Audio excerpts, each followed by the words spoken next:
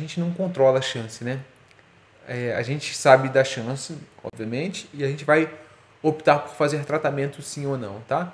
O que a gente controla é o que a gente faz, tá? O que, a gente, o que vai acontecer a gente não sabe, mas a gente vai fazer o melhor para dar certo, tá? Então isso a gente controla bem e é isso que a gente faz.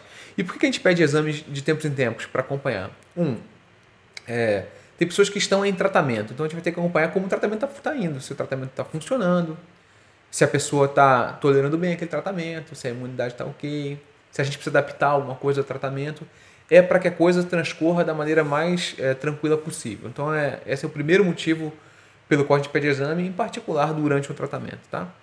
E depois do tratamento, por que, que a gente vai pedir exames? É, a gente se preocupa com três coisas depois do tratamento, quando a gente termina, né?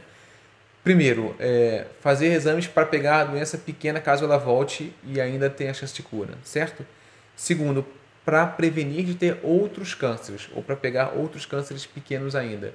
É, mal comparando, uma pessoa que teve câncer de mama, que não tirou as duas mamas, pode ter câncer na outra mama, como qualquer outra mulher. A gente vai continuar fazendo esse tipo de exames para prevenir, ou para prevenir de morrer, ou para, enfim, para detectar precocemente caso aconteça na outra mama, porque a chance permanece, a chance da, da vida, né? De morar no planeta Terra e ser um ser humano, tá? E a terceira coisa pela qual a gente pede exames é para acompanhar os efeitos colaterais de longo prazo. A gente sabe que às vezes demora um pouquinho para você recuperar, dormência nos dedos, o enjoo, esse tipo de coisa. E a gente vai pedindo exames para acompanhar esse tipo de coisa, tá? Então esses são os principais motivos pelos quais a gente vê as pessoas depois do tratamento e pelos quais a gente vê, é, pede exames, tá? À medida que o tempo vai passando, a gente sabe que a chance da doença voltar ela diminui, tá? Diminui muito, tá? À medida que o tempo passa, a chance diminui. É importantíssimo saber ter esse conhecimento, tá? Então hoje, por exemplo, né, eu tive um paciente que teve uma doença no fígado, é, um câncer de fígado, a gente tratou, o negócio sumiu, já estou acompanhando já há, há, uns dois ou três anos, se não me engano, foi dois anos.